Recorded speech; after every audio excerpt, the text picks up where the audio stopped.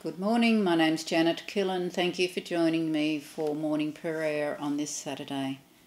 The Anglican Church of Newcastle ministers and worships on the unceded land of the Awabakal, Biripi, Darkinjung, Garigal, the Gawaigal, Kamilaroi, Worimi and Wonnarua peoples. I pay my respects to their elders past, present and emerging and pray that there will be true reconciliation peace, and healing for all our First Nations peoples. Saturday morning prayer begins on page 419 in the prayer book. This morning we will be reading from Psalms 11 and 12 and from 1 Corinthians chapter 9 verses 15 to 27. Let us pray. God has shone in our hearts to give the light of the knowledge of the glory of God in the face of Jesus Christ.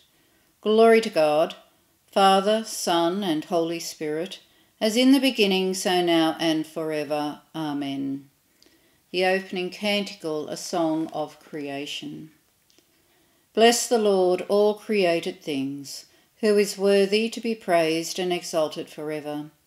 Bless the Lord, all people of the earth, who is worthy to be praised and exalted forever. O people of God, bless the Lord. Bless the Lord, you priests of the Lord. Bless the Lord, you servants of the Lord, who is worthy to be praised and exalted forever. Bless the Lord, all you of upright spirit. Bless the Lord, you that are holy and humble in heart.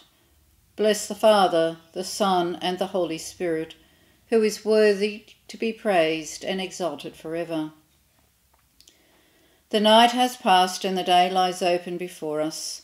Let us pray with one heart and mind.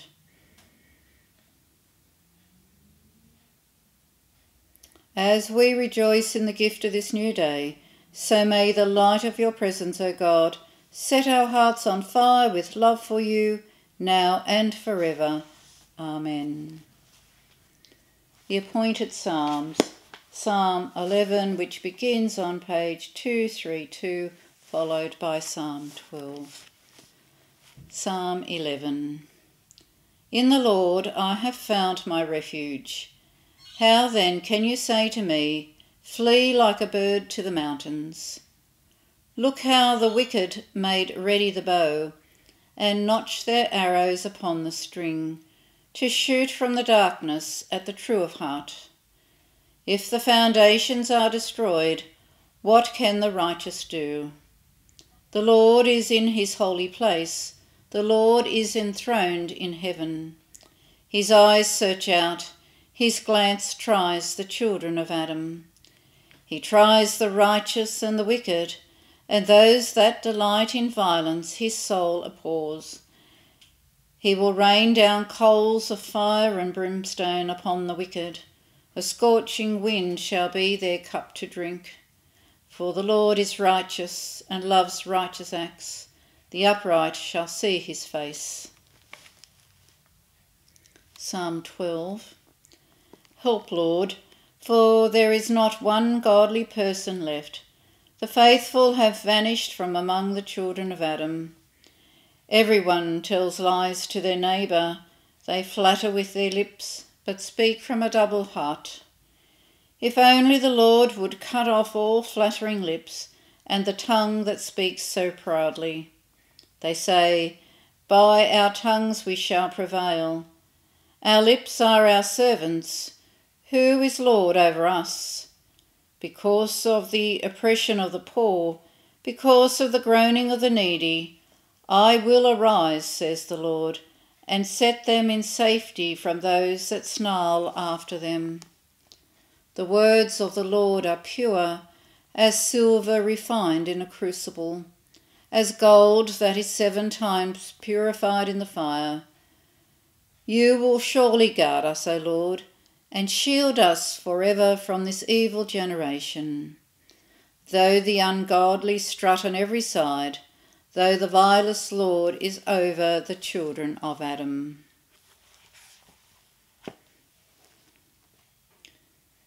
Creator God, whose praise and power are proclaimed by the whole creation. Receive our morning prayers, we pray, and renew us in your service. Through Jesus Christ our Lord. Amen.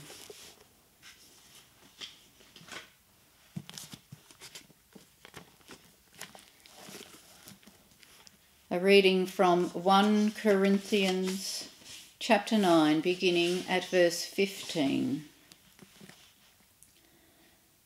But I have made no use of any of these rights, nor am I writing this so that they may be applied in my case. Indeed, I would rather die than that. No one will deprive me of my ground for boasting.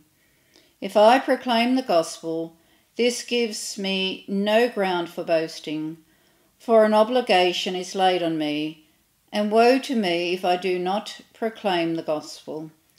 For if I do this of my own will, I have a reward. But if not of my own will, I am entrusted with a commission. What then is my reward? Just this, that in my proclamation I may make the gospel free of charge, so as not to make full use of my rights in the gospel. For though I am free with respect to all, I have made myself a slave to all, so that I might win more of them. To the Jews I became as a Jew, in order to win Jews. To those under the law I became as one under the law, though I myself am not under the law, so that I might win those under the law. To those outside the law I became as one outside the law, though I am not free from God's law but am under Christ's law, so that I might win those outside the law. To the weak I became weak, so that I might win the weak. I have become all things to all people, that I might by all means save some. I do it all for the sake of the gospel, so that I may share in its blessings. Do you not know that in a race the runners all compete? but only one receives the prize. Run in such a way that you may win it. Athletes exercise self control in all things. They do it to receive a perishable wreath, but we are but we an imperishable one. So I do not run aimlessly, nor do I box as though beating the air, but I punish my body and enslave it so that after proclaiming to others, I myself should not be disqualified.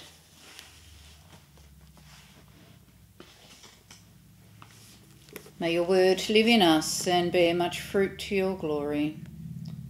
The Canticle, a song of redemption. Christ is the image of the invisible God, the firstborn of all creation. For in him all things were created in heaven and on earth, visible and invisible. All things were created through him and for him. He is before all things, and in him all things hold together. He is the head of the body, the church. He is the beginning, the firstborn from the dead.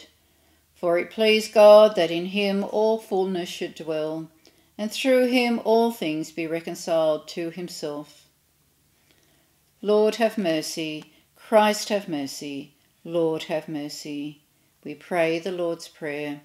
Our Father in heaven, hallowed be your name. Your kingdom come, your will be done on earth as in heaven. Give us today our daily bread. Forgive us our sins, as we forgive those who sin against us. Save us from the time of trial, and deliver us from evil. For the kingdom, the power, and the glory are yours now and forever. Amen. The Collect.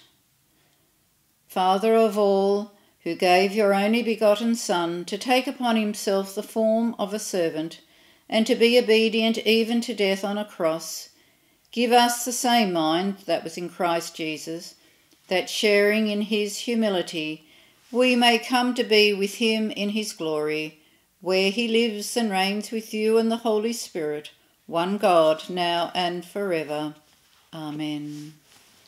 Let us pray for the world and for the church.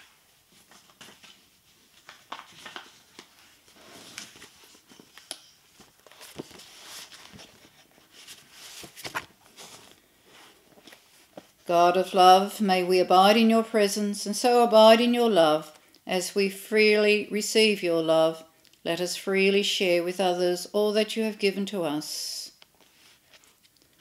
Father of all, we pray for your church. In the wider church, we pray for the Anglican Church of Aotearoa, New Zealand and Polynesia, the Church of the Province of Southeast Asia. In the National Church, we pray for the Diocese of Ballarat. In the Newcastle Diocese, we pray and give thanks for Bishop Peter, Bishop Charlie, and Bishop Sonia and pray for their families. We pray for the diocesan office staff. We pray too for the principal, the chaplain, the students, teachers, and support staff and families of Manning Valley Anglican College. We pray for the Micah Ministries and all who worship in that parish. We pray for the mission to seafarers, for their chaplains, and for seafarers around the world. We pray for the parish family of Newcastle St John's. We pray, Lord, that your church may be caring, loving, and inclusive. We pray for the outreach of your church, that it may seek out the needy, the outcasts, and the rejected, that love may be revealed in action. Lord, in your mercy, hear our prayer. We come with sorrow, Lord, praying for all who have been denied freedom or, or peace. We pray for those areas of the world caught up in war, thinking especially of the peoples of the Middle East, for the peoples of Ukraine and Russia, and for all your people, Lord, who are oppressed by leaders who do not have their people's concerns at their heart. We pray for places where communities have been destroyed either by conflict or natural disasters, where families have been divided or separated, for children who have lost contact with their parents. We pray for all who seek to heal all that divides humanity. Lord, in your mercy, hear our prayer. Lord, we give thanks for areas where people can exercise their talents, where people are free to think and to act without hindrance. We pray for all who are enriching our world with their gifts. We pray too for our families and friends, and for those people we find especially difficult to love. Lord, in your mercy, hear our prayer. Lord, we pray for all your people whose lives have been marred by their past, for lives destroyed by bad memories, hatred, guilt, or resentment, for all who are weary of life, who are tired of serving others. We pray, Lord, for renewal, refreshment, and restoration. Lord, in your mercy, hear our prayer. Lord of life and love, we praise you for all who have borne fruit in your service, for all who have forwarded your kingdom, for all who have shared their love and goodness. We give thanks for our loved ones who have gone before us and pray for those who will die this day. We pray rest eternal grant unto them, good Lord, and let light perpetual shine upon them.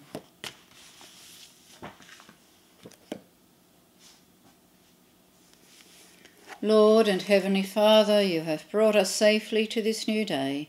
Keep us by your mighty power, protect us from sin, guard us from every kind of danger. And in all we do this day, direct us in the fulfilling of your purpose.